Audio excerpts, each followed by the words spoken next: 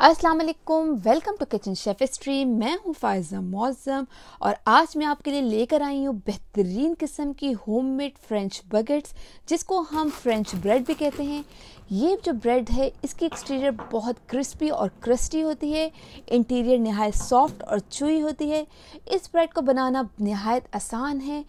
मैं आपको दूँगी बेहतरीन किस्म की टिप्स जिससे आप बना पाएँगे बिल्कुल बाज़ार जैसी फ्रेंच ब्रेड्स तो इस वीडियो को आप आखिर तक देखिएगा और इन्जॉय कीजिएगा।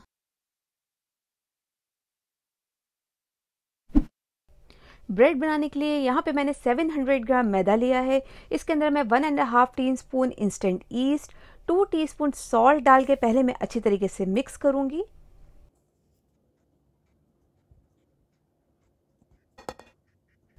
ये मेरा मिक्स हो चुका है। अब मैंने यहाँ पे पानी लिया है। पानी मेरा तकरीबन 530 थर्टी है।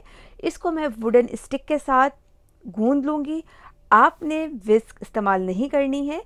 अगर आप विस्क इस्तेमाल करेंगे, या तो आपकी विस्क टूटेगी, या रिस्ट तो आप ये इस करने की गलती मत कीजिएगा। वुडन स्पून के साथ इसको अच्छी तरीके से मिक्स करना है। ये जो डो है, बहुत ज़्यादा स्टिकी होती है। तो ये बहुत चिपकती है हाथों पे। यही इसका एक डिफ़िकल्ट पार्ट है फ्रेंच ब्रेड बनाने का। तो इसको बड़े प्यार के साथ हैंडल करना है।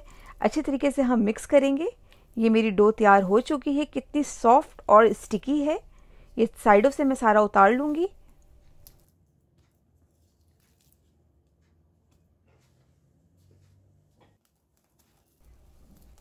अब मैं इसको कवर करके तकरीबन दो घंटे के लिए इसको मैं रख दूँगी।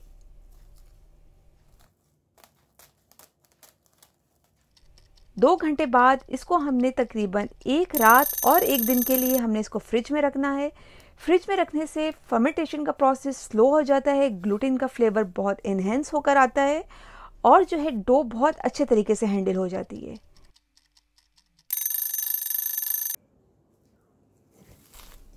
ये मेरी डो तैयार हो चुकी है, ये बहुत सॉफ्ट और स्टिकी है। अब हम इस डो को अपने फ्लोर पर निकाल लेंगे। पहले मैं अच्छे तरीके से मैदा छिड़कूँगी और मैं इस डो, सारी डो को अपने फ्लोर पर निकाल लूँगी। इस तरीके से। याद रखिएगा, इस डो को बहुत हल्के हाथों के साथ हैंडल करना है, बहुत ज़ोर नहीं लगाना है। इजी वे में इसको हमने, इसका एक बड़ा सा पेड़ा बना लेंगे पहले, हल्के हाथों की मदद से। इस तरीके से मैदा छिड़कते जाएँगे और इसको राउंड शेप में ले आएँगे। अब हम इसके चार इक्वली पार्ट्स में इसको डिवाइड कर देंगे। इससे इस रेसिपी से चार ब्रेड आपकी आराम से बन जाती हैं। अब मैं चार पेड़ों में इसको कन्वर्ट कर दूँगी। इस तरीके से हल्के हाथों की मदद से हमने पेड़ा बनाना है।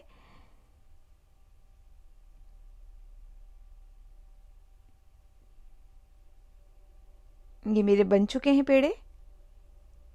मैदा लगाते जाएँगे और हम पेड़ों को राउंड शेप में करते जाएँगे। अब हमने इन पेड़ों को दोबारा से रेस्ट देना है तकरीबन 40 मिनट्स के लिए। रेस्ट देना बहुत ज़रूरी है। रेस्ट देने से जो ब्रेड का फ्लेवर है बहुत ज़बरदस्त इन्हेंस होकर आता है। अब हम इसको कवर करके तकरीबन 40 मिनट्स के लिए हम इसको छोड़ देंगे।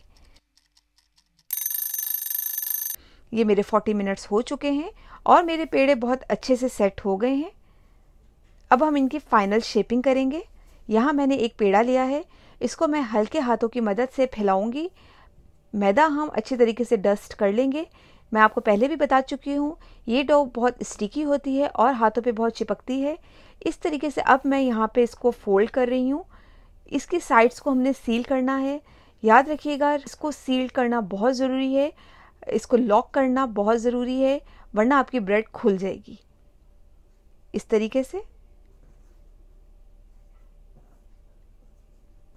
इस तरीके से हम इसको फोल्ड कर लेंगे और हथेली की मदद से हम इसको सील्ड कर देंगे। इस तरह। बहुत आराम से, एहतियात के साथ हमने ये काम करना है।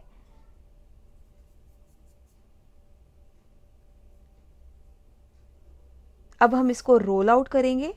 रोल करने का तरीका ये है कि दरमियान से हम इसको रोल करना शुरू करेंगे और साइडों की तरफ़ हम लेकर जाएँगे। इस तरह इसका साइज़ जो है लंबाई में बढ़ता जाएगा। दरमियान से हम रोल आउट करना स्टार्ट करेंगे और हम कॉर्नर्स तक हम इसको लेकर जाएँगे। इस तरह ये इक्वली लंबी होती है साइज़ इसका इक्वली बढ़ता है। इस तरीके से। प्रेशर आपने बहुत ज़्यादा नहीं लिखाना है, बहुत लो प्रेशर के साथ इसको हमने बढ़ाना है। इस तरीके से।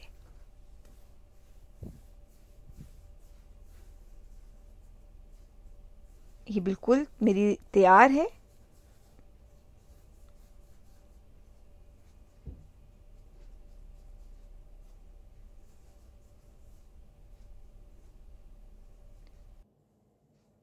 यहाँ मैंने सिंपल किचन टावल लिया है और मैं इसके साइड पर कोई हार्ड सी चीज़ रख रही हूँ। आप कुछ भी यहाँ पे यूज़ कर सकते हैं।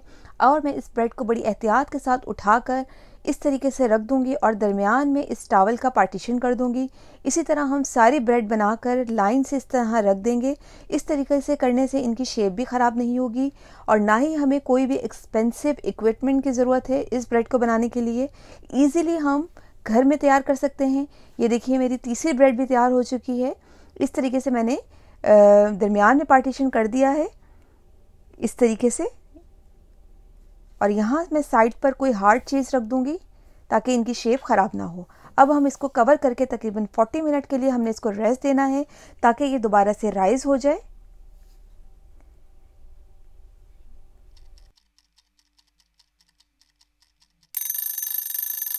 ये 40 मिनट्स मेरे हो चुके हैं। अब इनका बेक करने का टाइम हो चुका है। यहाँ मैंने सिंपल लकड़ी का तख्ता है। इसके ऊपर मैंने एलमिनियम से मैंने इसको कवर कर दिया है। इस तरीके से इसको उठाना नहायत आसान हो जाएगा। ये देखिए।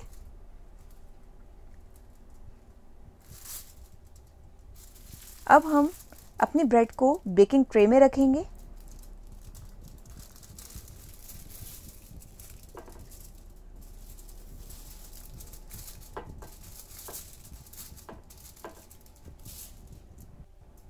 इसी तरह हम दूसरी भी रख देंगे।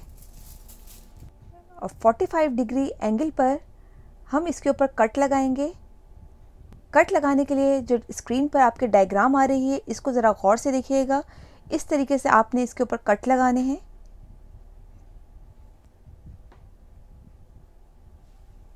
आखिर में हम इसके ऊपर वाटर की ब्रशिंग कर देंगे। इसके जो जो इसकी, जो एक्सटीरियर क्रस्ट है, बहुत क्रिस्पी बनती है। ओवन मैंने पहले से प्रीहीट करने के लिए रख दिया था 180 डिग्री पर।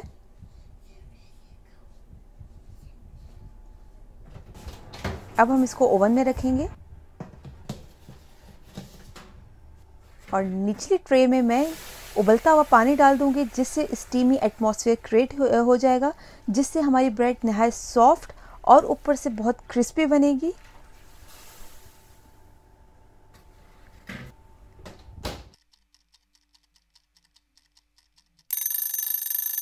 तकरीबन 20 से 25 मिनट लगते हैं इस ब्रेड को तैयार होने में ये 20 से 25 मिनट हो चुके हैं। बहुत प्यारा सा गोल्डन कलर आ चुका है।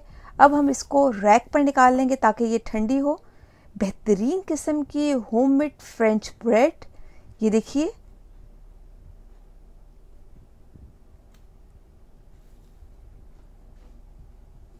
कितनी क्रिस्पी है ये। कितनी खस्ता है ऊपर से। आप इसकी आवाज़ सुन के ही आपको लग रहा होगा।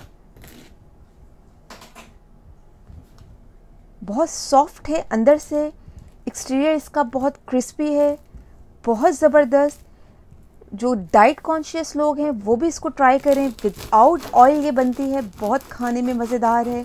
आप इसको ब्रेकफास्ट में खाएँ जैम लगा के बटर लगा कर या फिर आप इसको एंजॉय कर सकते हैं सूप के साथ। ये देखिए, कितनी सॉफ्ट है। ऊपर से क्रिस्पी और अंदर से सॉफ्ट और स्पंजी सी, ये देखिए।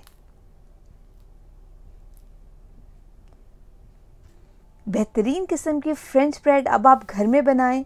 अंदर से इसके ज़बरदस्त किस्म की सॉफ्ट बनी है। ज़रूर ट्राई कीजिएगा। नाश्ते में खाएँ या सबवे के सैंडविच में इस्तेमाल करें। अब आपको बाज़ार से फ्रेंच ब्रेड लेने की बिल्कुल भी ज़रूरत नहीं है। ज़रूर ट्राई कीजिएगा फ्रेंच ब्रेड। अगर आपको मेरी रेसिपी अच्छी लगे तो आ, कमेंट में मुझे बताइएगा कि आपको मेरी ये रेसिपी कैसी लगी। मेरी वीडियो को ज़्यादा से ज़्यादा शेयर कीजिए। और मैं आपको डिस्क्रिप्शन में अपने टाइनी किचन का लिंक दे रही हूँ, उसको भी विज़िट करना सब्सक्राइब करना मत भूलिएगा। इंशाल्लाह मिलेंगे नेक्स्ट वीडियो में। टिल देन अल्लाह हाफिज़।